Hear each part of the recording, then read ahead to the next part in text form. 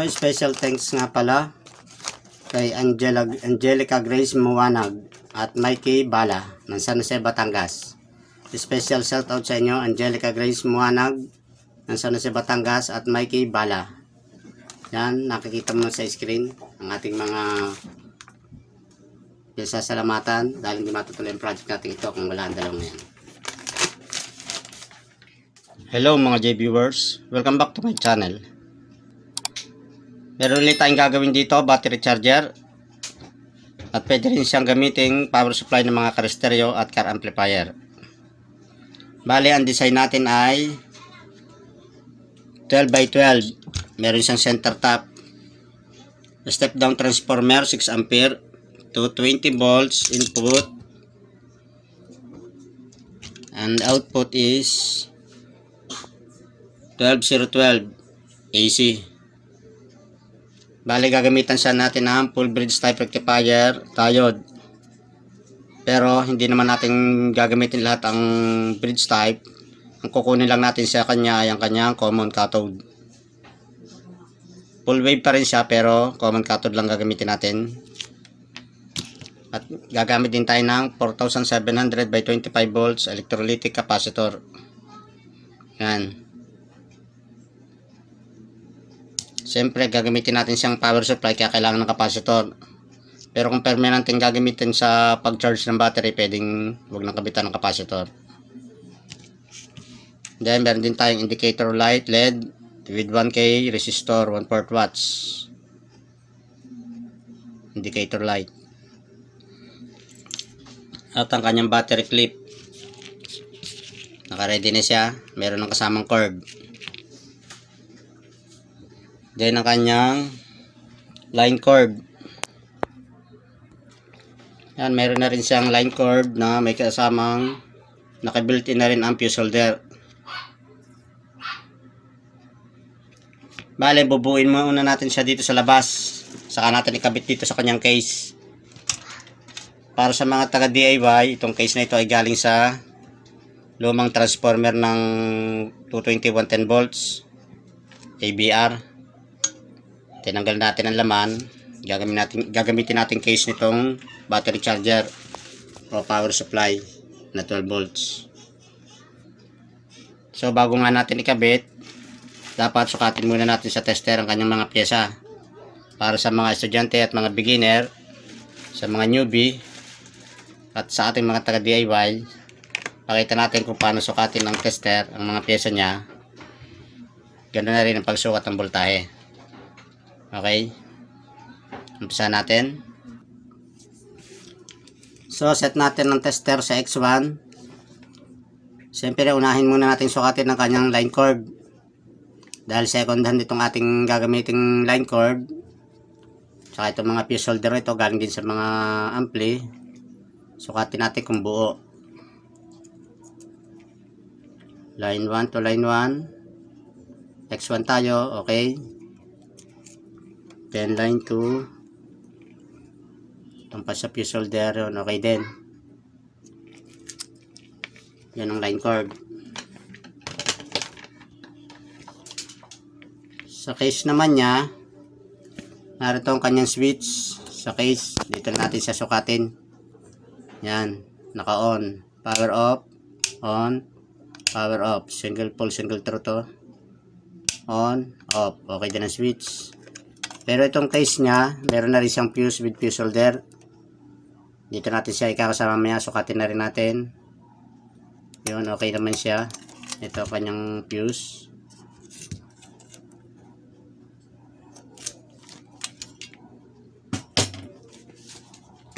Then ito naman transformer. Set pa rin tayo sa X1. Continuity testing.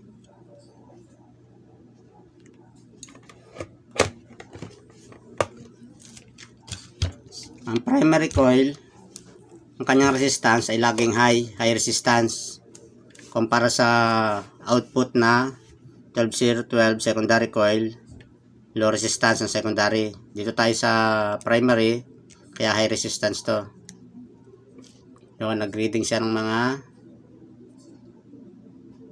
75 ohms ah 50 ohms Naka X1 tayo. Yung 50 ohms. Yun ang input ng 220 volts primary coil. 50 ohms.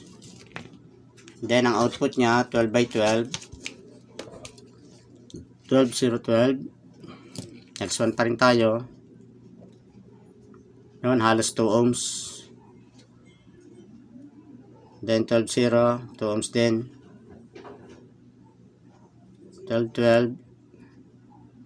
Yun, mga 4 ohms. Lagi niyong tatandaan, ang primary high resistance, yan ang input. Then, ang output, secondary, low resistance. Okay? Yan, sukatin naman natin ang kanyang capacitor. 4,700 by 25 volts. Set tayo sa X1 dahil mataas naman ang kanyang value. Pwede na sa X1. Siyempre, papalo babalik ang kanyang resistance yun. Pumalo, bumalik. Pumalo, bumalik. Palo, balik. Yun, okay siya. Then, ang kanyang bridge type, rectifier diode. Makikita nyo dito, meron siyang nakasulat na AC. Tapos dito may sign na positive. Itong positive na ito, ibig sabihin yung katapat niya doon, negative na yon. Ito. Itong positive, yan may sign. At ito namang negative na, itong AC, doon sa tapat niya, AC rin yun. Kaya yung AC yan, AC, AC, yun ay kakabit natin dito sa 12 at 12. Then sa atin na nakadepende kung ang gagamitin natin ay common cathode o common anode. Sukatin muna natin ito.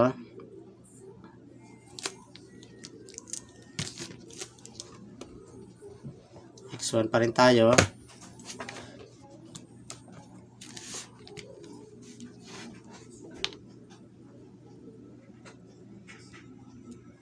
Ayan. Cathode. Okay. Then, ilipat ulit natin sa linya ng AC itong black. Okay ulit. Ito ang kanyang common cathode. Common cathode. Oh. I-reverse natin. Dapat no continuity. Wala. Wala. So, good siya. Kung common anode naman ang kukunin natin, itong kabila, itong namang retest pa, lagay natin sa AC. Yan. Tapos, dito naman sa anode. Okay. Pumalo. Pumalo yung 10 ohms. Pagka ni-reverse, no continuity. No continuity. Sa ganitong design, tulad nga nito, 12 by 12, 12, 0, 12. Magiging forma niyan, sa inyo na nakadepende. Kung gusto niyo ay common cathode o common anode. Pag ganito ang design, katulad nga nito, 12012 common cathode. Yan, pwedeng ganito. Then, itong may bar sign na yan, positive. Itong capacitor nyo, dito sa positive ng cathode. Tapos, sa negative ng capacitor, dun sa center tap. Yung ganon. Kung common cathode ang gagamitin nyo, positive itong out dito. Eh kung common anode naman ang gagamitin, tulad nito, ito naman may bar sign doon sa AC ng 1212. Then itong common anode niya, ang magkasalubong, itong magiging negative. Then ang capacitor naman babalik ta rin, dito ang negative.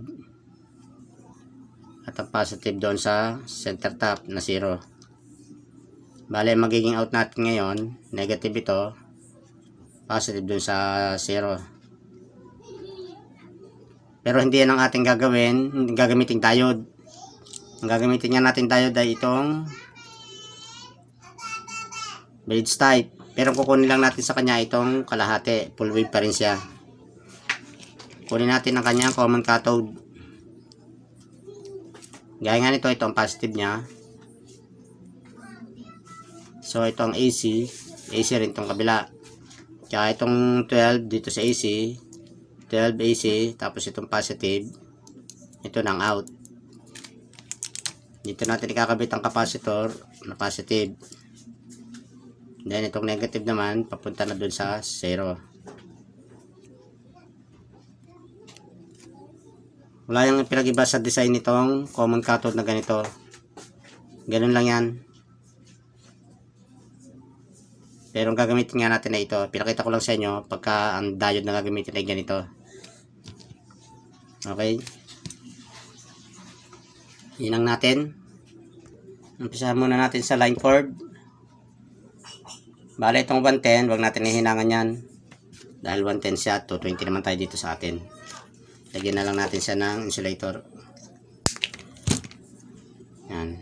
Para hindi mahinangan.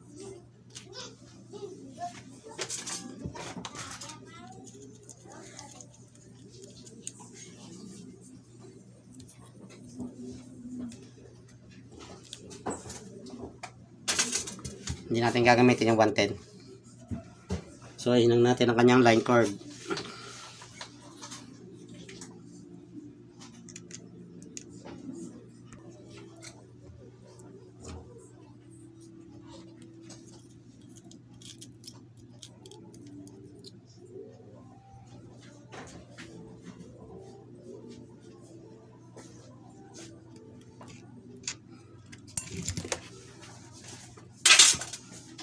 Ayan, nakahinang ng kanyang line cord. Line 1, line 2. 0 to 20 volts. Yan, dito naman tayo sa secondary.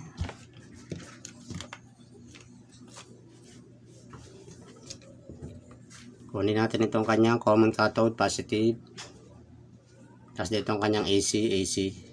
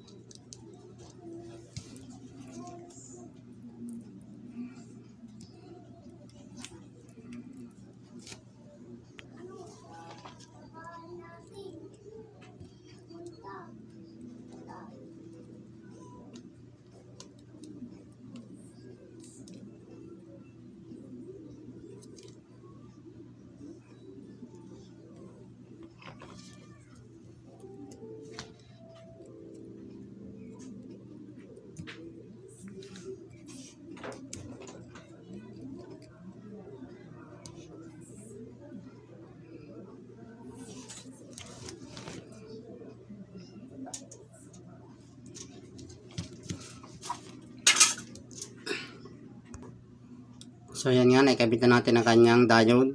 Ang ginamit natin ang ginamit natin ang kanyang common cathode. Kaya ang capacitor niya, yung positive ng capacitor ay dito sa out ng diode na cathode. Then itong negative ay sa center tap ng 0. So ikabit natin itong negative ng capacitor sa center tap niya. 0.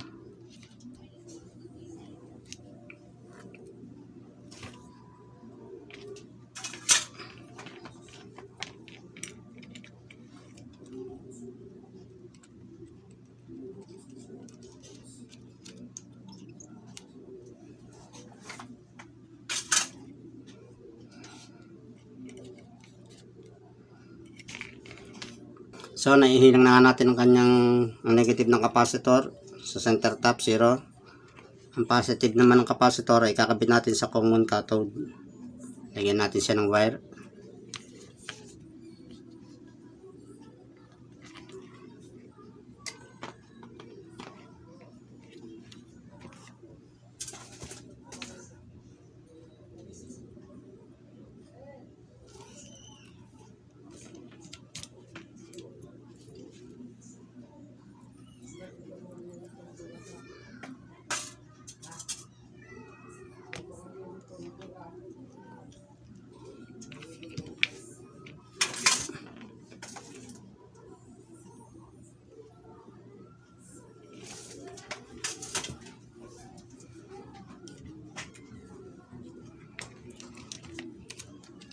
So, ayan.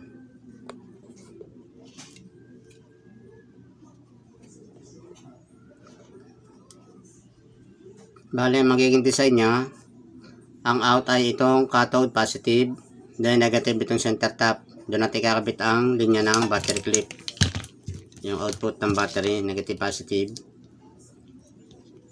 Itong mayroong guhit na pula, red battery clip. Dito sa cathode at ito namang sa negative ng capacitor ay itong black battery clip. Dito.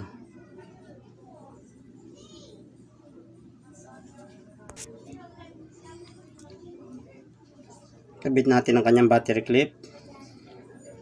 Ang cord. Sa positive. Then ito ay sa negative sa center tap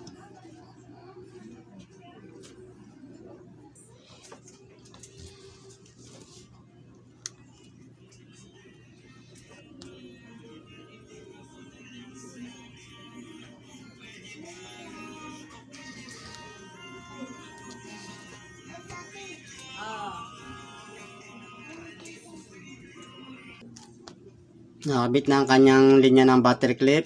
Ngayon naman ay ang indicator light. Siyempre, itong may resistor, itong positive. Kabit natin sa positive. Tapos itong negative niya, kahit dito na lang sa isang linya ng AC. Ng 12 volts. Doon.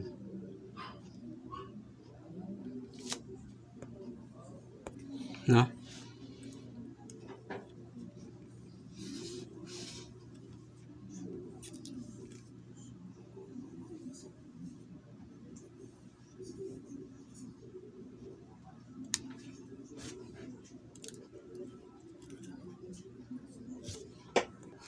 Okay, nakahinang na ang kanyang indicator light. Ngayon naman, sukatin muna natin sa tester. Ang kanyang test prod. Ang kanyang plug. Yan high resistance. Okay, pwede natin siya isaksak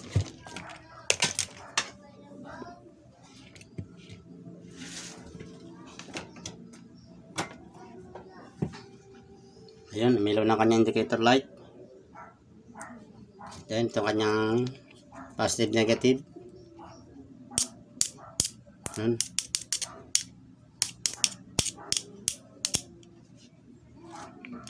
Okay, mga J-viewers. Natapos na naman natin ang isang video ang kapakipakinabang para sa mga newbie at sa mga taga-DIY ng simpleng DIY battery charger using full bridge type rectifier diode pero kinuha lang natin na yung kanyang kabaa, common cathode. Pagka permanenteng gagamitin sa pagcha-charge, pwede na natin alisin ang kanyang capacitor.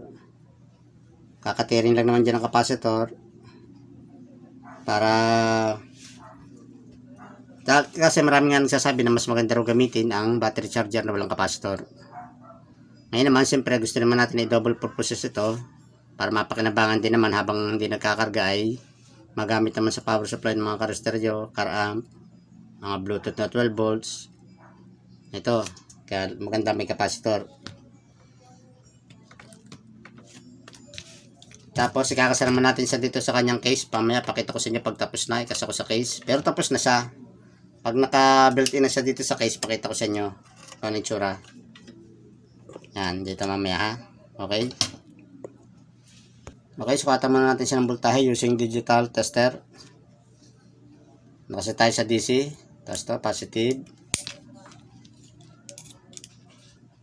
Then sa negative. Ang battery clip. Yun, nag-reading siya ng 17.5. 17.4. Kasi nga, ang kanyang capacitor ay 25 volts. Pero pagka nilagay natin sa battery sa kuhan, magdadrop na yan. May maliit ako dito ng baterya, pwede natin isang testingin. Ito.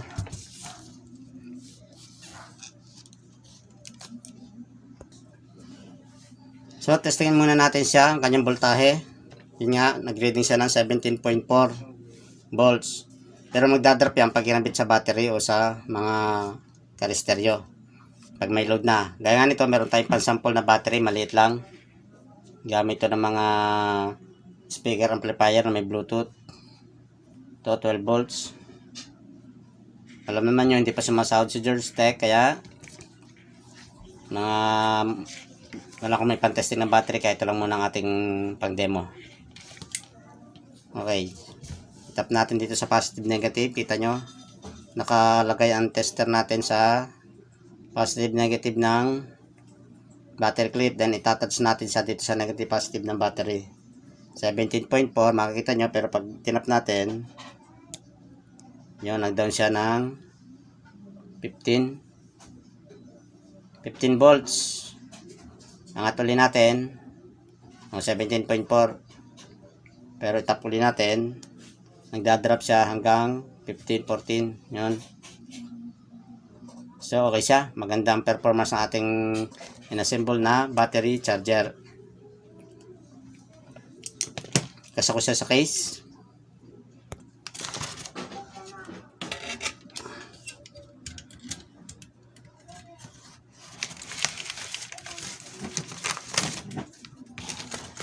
So, special thanks nga pala kay Angela, Angelica Grace Muwanag at Mikey Bala ng San Jose, Batangas.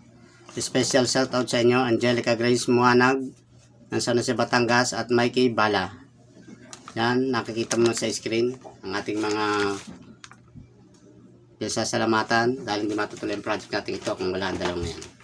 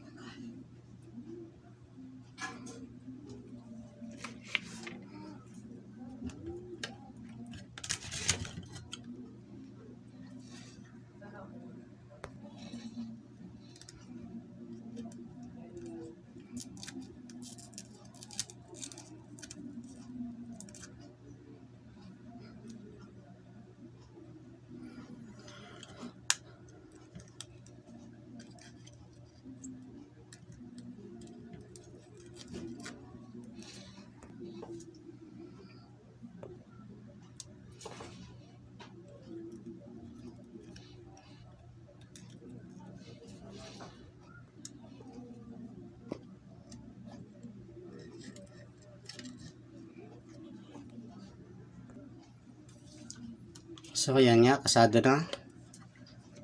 I-focus ko lang sa camera para may screenshot nyo. Kung sakaling gusto nyo gayahin ng design.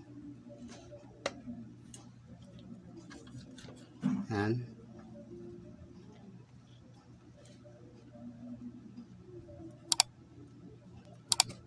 Ito, battery clip to.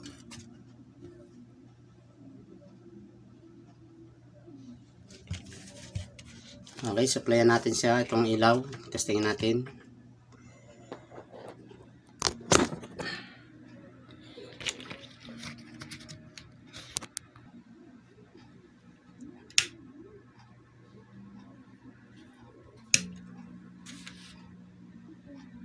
Yon, pwede siyang power supply ng LED light. Tapos charger na. Power supply pa. Pwede siyang gamitin sa mga car stereo, power amp, car amp na 12 volts. So, mga J-viewers, para sa mga taga-DIY natin at sa mga newbie, kung sakaling napadalang kayo sa aking channel, just subscribe, like, share, and comment. Pakihit na rin ang bell button para lagi kayong updated sa mga upcoming videos ko. Ito nga, meron tayong natapos na video another battery charger and power supply using full bridge type rectifier diode. Pero ang ginamit natin ay common cathode. Yan nga, kasado na siya sa casing. So, special thanks ulit sa ating mga suki dyan. Kina Angelica Muhanag at kay Mikey Bala. Ang sana si Batangas. Thank you.